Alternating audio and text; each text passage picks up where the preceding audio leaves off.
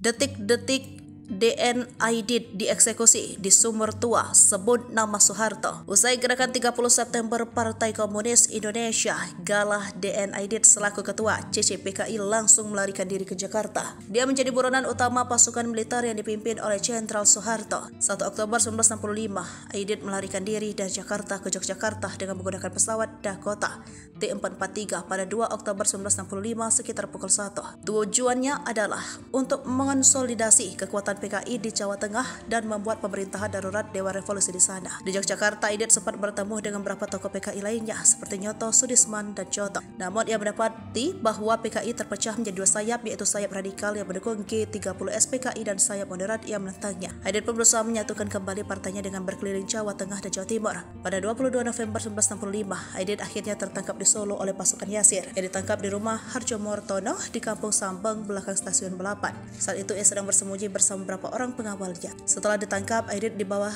ke markas Brigif Loji Gandrong Solo untuk diinterogasi. Dalam pemeriksaan itu, Aidit mengaku bertanggung jawab atas G30 SPKI dan meminta untuk bertemu dengan Soekarno. Permintaan ditolak oleh Yasir yang khawatir bahwa Soekarno akan memutarbalikan fakta. Rencananya Aidit akan dibawa ke Semarang untuk diadili di markas Kodam di Ponorogo.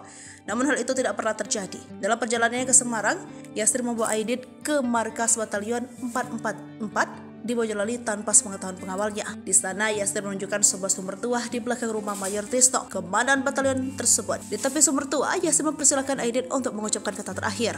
Aidit pun berpidato dengan berapi-api dan mengkritik Soeharto dan Nasution sebagai pengkhianat revolusi. Di akhir pidatonya, ia berteriak, hidup PKI. Seruan itu menjadi seruan terakhir karena segera setelah itu, ia ditembak mati oleh Yasir dan jasadnya dimasukkan ke dalam sumur tersebut.